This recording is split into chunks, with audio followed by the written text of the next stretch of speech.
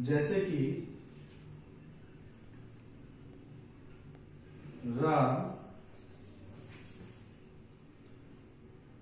does not cook food so here in this negative sentence Ram subject does not h v plus not cook the first food object. Now, while we are changing this sentence into passive voice, food, this was object plus food is not cooked by Ra. So according to the rules, object food is according to the tense. Helping verb not because of negative sentence. Cooked third form of the verb then by then subject. So this is the sentence structure. According to this, subject, helping verb, not plus verb first form plus object. So here object plus helping verb plus not plus third form of the verb plus by plus subject. So according to the sentence structure, we have to change in this structure.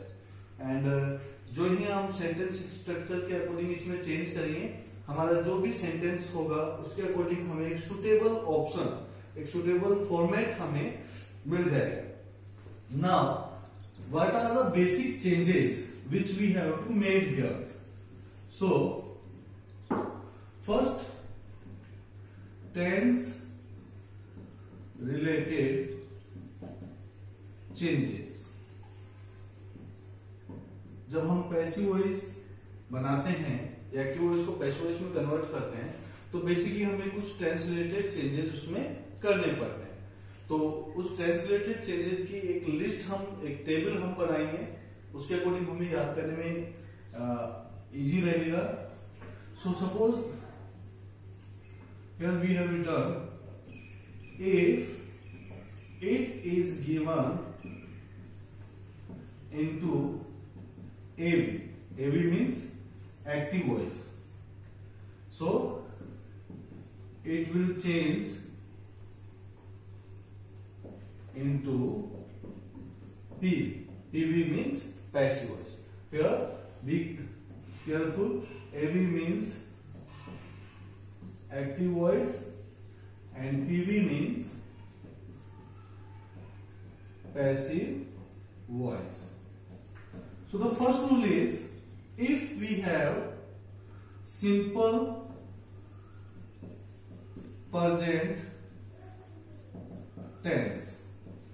Simple present tense means either first form of the verb or we first plus s or es or do plus does. So it will change into is and are plus third form of the verb. So we can here we have to use HV of present continuous tense plus third form of the verb. हम ये नहीं कह सकते कि simple present tense अगर active voice में दिया हुआ है तो हमें पैसिव वॉइस में कन्वर्ट करते हैं समय हम इसे प्रेजेंट कंटिन्यूस टेंस में चेंज करेंगे। क्योंकि प्रेजेंट कंटिन्यूस टेंस का मतलब हुआ is am are plus be first plus I N G जबकि पैसिव वॉइस में हम थर्ड फॉर्म यूज़ करते हैं। तो H V of present continuous tense यानी helping verb of present continuous tense then second rule is here is m r plus v first plus ing that is present continuous tense it will change into is am are plus v first plus ing so HV of present continuous tense plus being plus third form of the verb. Here now we have to look is MR plus V first plus ING. मैंने यहाँ पर वापस लिखा था is am are plus V first plus I N G जो कि changes नहीं किया है मैंने अभी तक। क्यों? क्योंकि प्रेजेंट कंटिन्यूस टेंस में हमेशा वर्ब की फ़र्स्ट फॉर्म के साथ आई एन जी आती है। तो वर्ब की फ़र्स्ट फॉर्म को तो हमने वर्ब की थर्ड फॉर्म में कन्वर्ट करना है। तो it will change here third form of the verb but what's about ING so ING will change with it will change into this is mr plus third form of the verb plus being.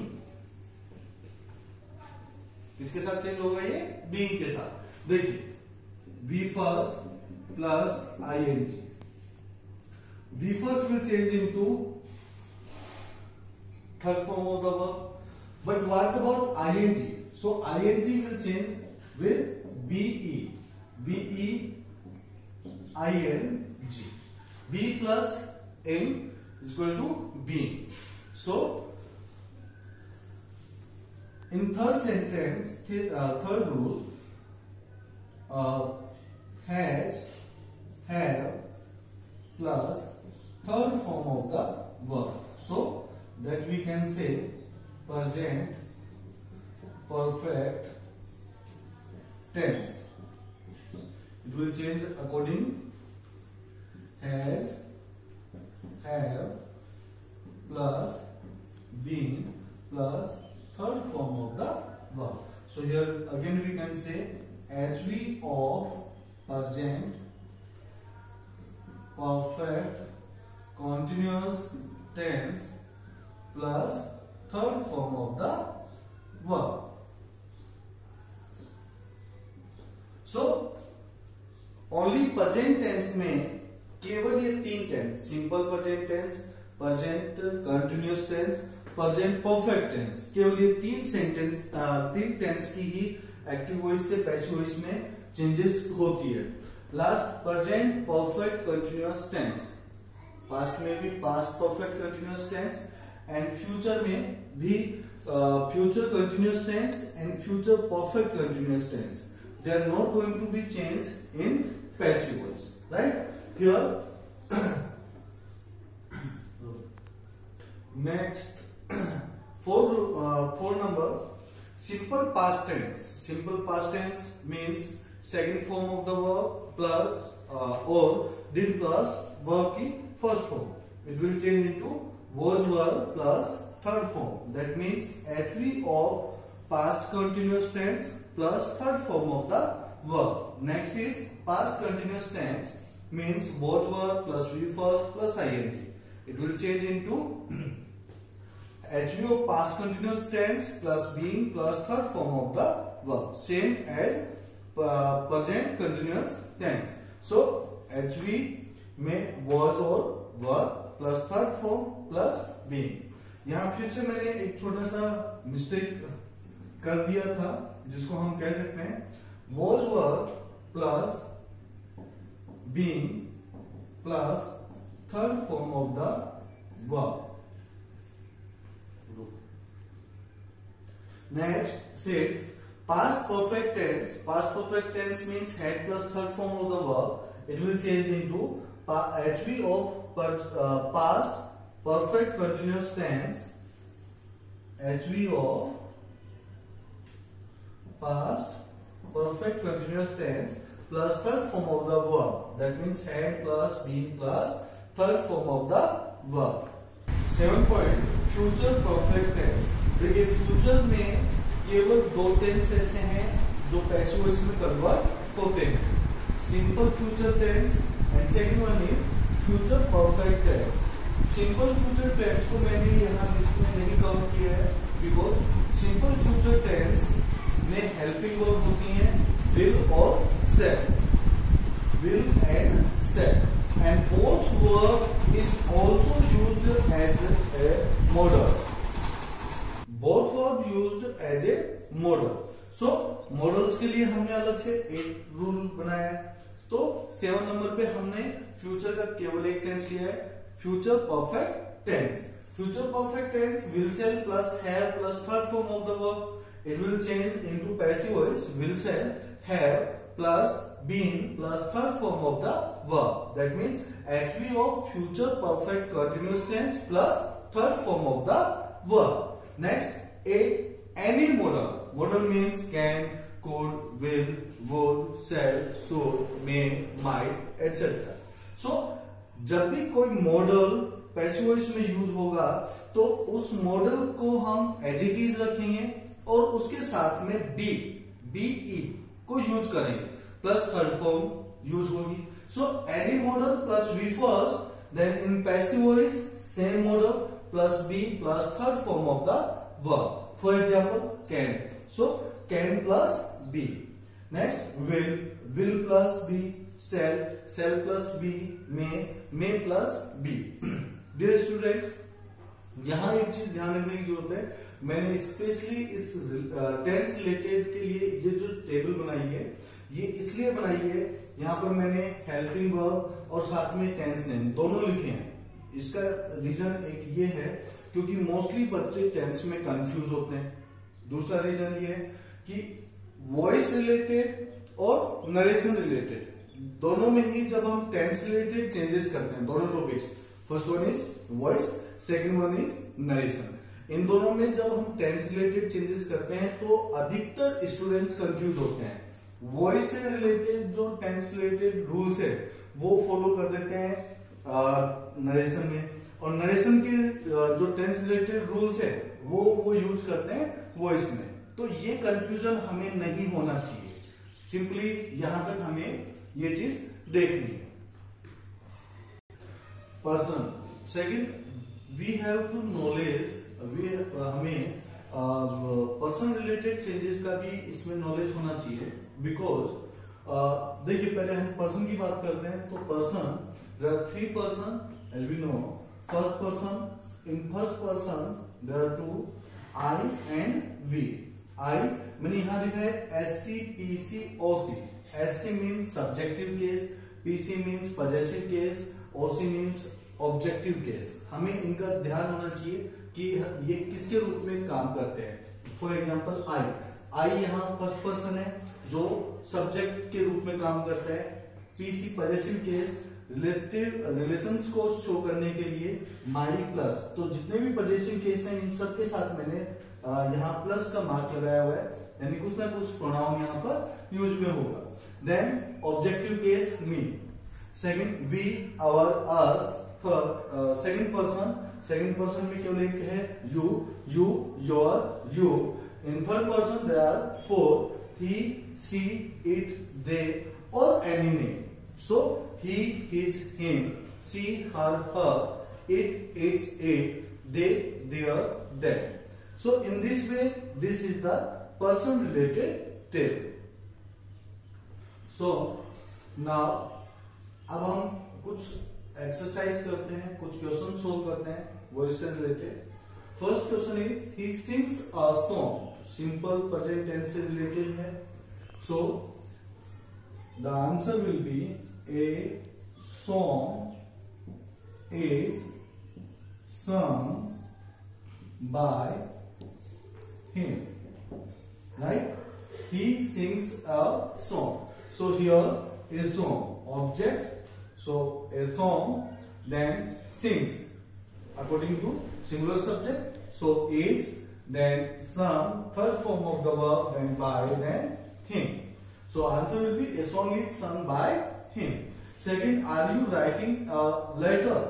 So is a letter being देखिए students मैंने बताया था आपको कि continuous tense चाहे वो present हो, चाहे वो पास्ट हो। वहाँ पर हमें HV plus being plus third form of the verb use करना है। तो is helping verb then being verb की फ़र्स्ट फॉर्म प्लस आईएनजी को हमने कन्वर्ट किया था बीइंग में। Is a letter being written by this is the answer are you writing a letter? So the answer is is a letter being written by you. Next the boy killed the spider. So the answer is uh, the spider was killed. Was killed क्यों because the boy killed killed simple past tense here and simple past tense को जब हमने translated changes में देखा था simple past tense will change into past continuous tense past continuous tense means H U O past continuous tense plus third form of the verb so the spider was killed by the boy next I can help you so here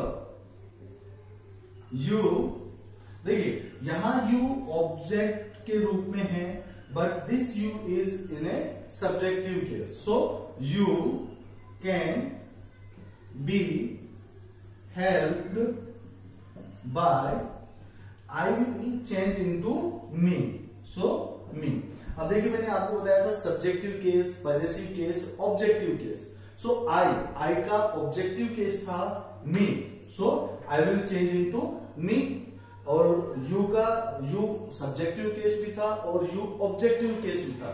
तो जब ये main verb के बाद आ रहा है तो objective case but यहाँ ये हेल्पिंग वर्ब से पहले आ रहा है, इसलिए subjective case clear so dear students ये था वॉइस से रिलेटेड कुछ बेसिक नॉलेज बेसिक रूल्स जो हमने आज डिस्कस किए।